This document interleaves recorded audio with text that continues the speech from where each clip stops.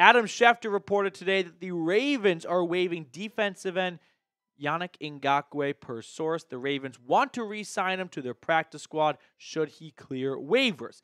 And the moment I saw this, it's that Squidward meme, Falcon just pointing down at Ngakoue going, oh yeah, make this happen, please. Now, he's going to have to clear waivers.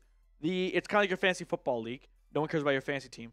Um, and the Falcons are currently 22nd in the waiver wire order. So if they were to place a claim on him and they are awarded him, they have to do a couple of things. They have to immediately have a roster spot available, although they might have one just because of Ruke. But anyway, I'll get to more of that just a little bit here. Let's talk about Ngakoue and what he has been up to this season.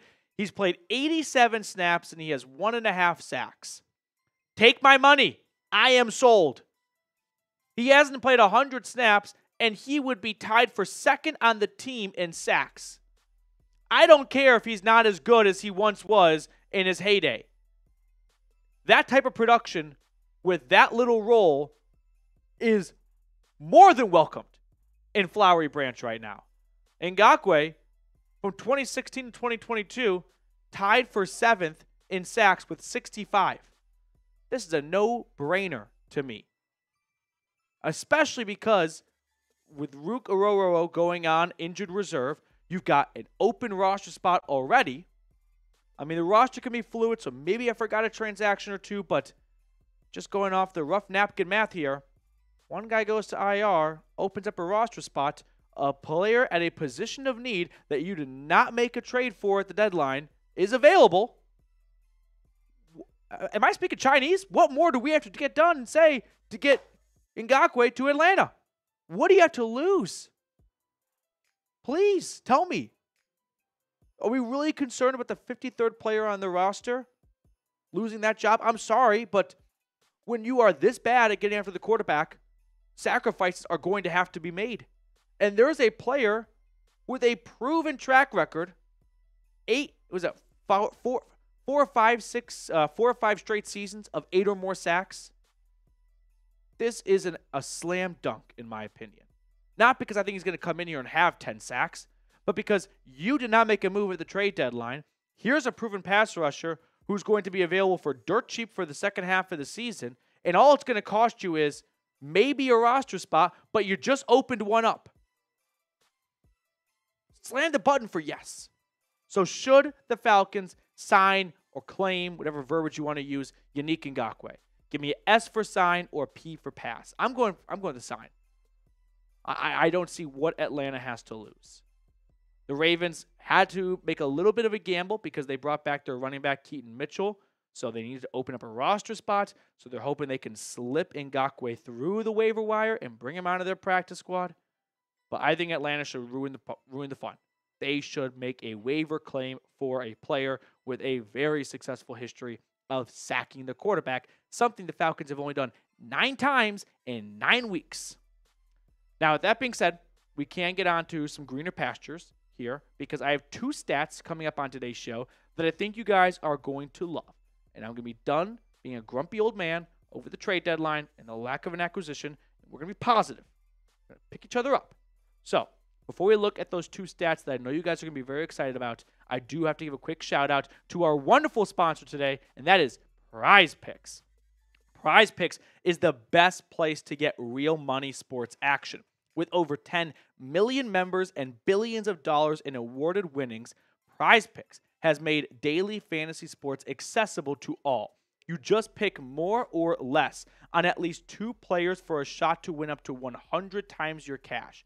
Run your game all season long on Prize Picks. Prize Picks puts their members first, so all withdrawals are fast, safe, and secure. When my picks hit, I can get my money in as quick as 15 minutes. So download the app today and use code CLNS to get $50 instantly after you play your first $5 lineup. All that information is in the comments and description of today's video. Download the app today and use code CLNS to get $50 instantly after you play your first $5 lineup. Prize picks, run your game. So, some fun facts I think you guys will enjoy. Darnell Mooney is second in the NFL in 20 plus yard receptions, only trailing Justin Jefferson. He has been an outstanding free agent signing by Terry Fontenot. 14 receptions of 20 or more yards, head of Zay Flowers, head of DK Metcalf, and only one behind Jay Jettas. Mo- Mooney has been more than just a really good signing. That's kind of downplaying it. He's been such an explosive player for them and coming through at big times in the game as well. Plus, through nine games, he has 588 yards and five touchdowns. Look what he did his last two years in Chicago. In 15 games, 400 yards and change and one touchdown. The guy had three touchdowns combined in the last 27 games. And in nine, he's got two more than that. And on top of it, he's not just working by himself. Drake London and Darnell Mooney form the number one receiver duo in the NFL. They've got more receptions, they've got more yards, they've got more touchdowns than any other tandem out there, ahead of DK Metcalf and Jaxon Smith-Njigba. and unfortunately a pair of injured uh, receivers, one healthy, now one injured, in the Houston Texans with Nico Collins and Stefon Diggs. Now, I'm not going to be the I told you go I told you I told you so guy, but I kind of did tell you because if anyone watched our fantasy football video before the season started, I had Darnell Mooney as my number one player of value based on how good I thought he would be in fantasy terms and where his ADP was, his average draft position. Now, the other ones may not be perfect. Pitts at two, I would swap him and Drake London. Although London went round two and Pitts went a little bit later, so you got to take that into account. But Darnell Mooney has been a home run signing so far. And for anyone who got them on their waiver wire or took him with the last pick in the draft, you're welcome. Now, before we look at the next stat that you guys are going to enjoy, we are trying to reach 29,700 subscribers. I want to get there before Sunday as a bit of a jumping off point. And then during our Falcons Saints watch party, my goal is to get to the big 3 0. So make sure to subscribe to the channel if you are looking for a free Atlanta Falcons news and rumors channel.